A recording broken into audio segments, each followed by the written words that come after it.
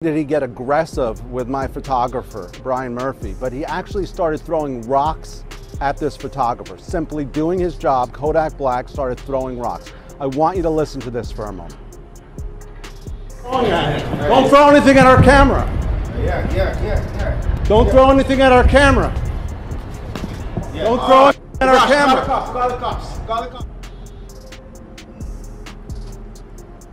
So what happened after that, uh, and we have more audio that we'll play for you later tonight, Kodak Black threatened to punch me repeatedly.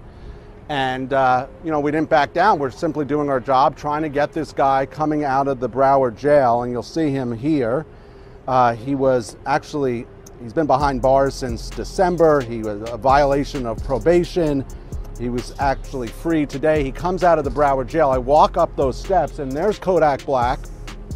And uh, the first thing, I was alone with